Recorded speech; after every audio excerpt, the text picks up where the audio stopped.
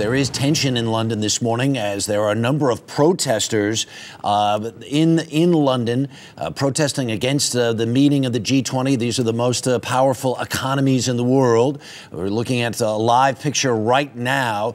There's been uh, some to and fro. There apparently have been uh, several arrests already. Security is very, very, very tight in London, and we want to check in right now with CBS Evening News anchor Katie Couric, who is live there this morning. Good morning, Katie. Harry, good morning to you. I was looking at those same uh, helicopter shots of the streets filled with protesters. There's been a lot of speculation that thousands of demonstrators were expected to descend upon London during this G20 summit, many of them experiencing the same populist anger that we've seen in the United States against the banks, that the government isn't doing enough for the poor, against the rising unemployment rate. Many of the problems that are being felt in the United States are obviously being felt here in Great Britain as well. And I think you're seeing evidence of that with so many people hitting the streets during the summit. Yeah. Let's uh, talk about uh, President Obama's meeting right now with Medvedev. Uh, U.S. Russian relations have soured over the last couple of years. What specifically is on their agenda, and uh, how hopeful is the United States? Well, it looks like those relations are actually improving even as we speak, Harry. The Russian president has said he wants to support President Obama, and the two are reportedly talking about working together on Afghanistan, that Russia might be helpful in dealing with Iran's nuclear ambitions, mm. and also both countries, as you mentioned earlier, want to reduce their nuclear arsenals. So there's also some talk, Harry, that they may set a date for a future summit between these two mm. countries. Mm. The other issue, as this thing has been, uh, you know, sort of coming to, uh, the meeting hasn't even really begun yet, but there has been all this conversation about Germany doesn't want to do this. Sarkozy has talked about maybe even walking out if if the agenda isn't exactly, uh, or or sort of the conclusions of their meeting aren't to his liking. What are the tensions? like leading up to this G20?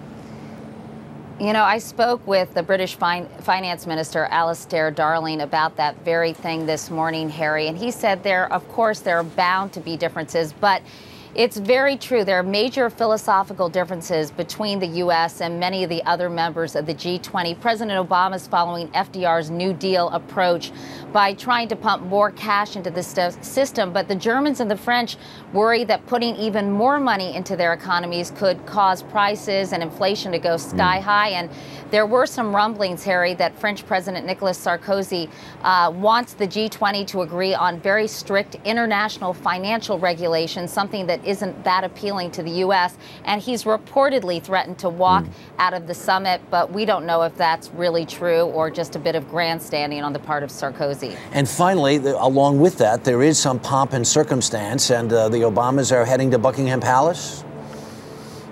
That's right. Yes, they have a meeting with the Queen this afternoon. The Queen has met, I think, 11 U.S. presidents so far, with the exception of LBJ. He was busy with Vietnam. She was busy having babies, but she's met with every president since Harry Truman. And many of them, by the way, have committed a few faux pas along the way. The first President Bush apparently sat before Queen Elizabeth, which was a real no no. But my favorite story was at a state dinner during the Ford administration when the Queen started to dance. The the Marine band started playing That's Why the Lady is a Tramp. So you oh, really no. have to watch your P's and Q's. But President Obama is apparently very excited about meeting with the Queen. And according to Prime Minister Brown, she's very excited to meet him as well. well you had a great piece on the evening uh, news last night about all those meetings with the president. And of course, seeing uh, George Bush 43 winking at Queen Elizabeth yes, might have been a highlight yes. as well.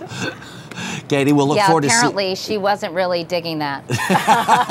That's exactly what she said. I ain't digging ain't digging that. We will see you tonight on the Evening News. Thanks so much for taking the time to speak with us. Do appreciate it. Okay, right. nice to talk to you All guys. Right.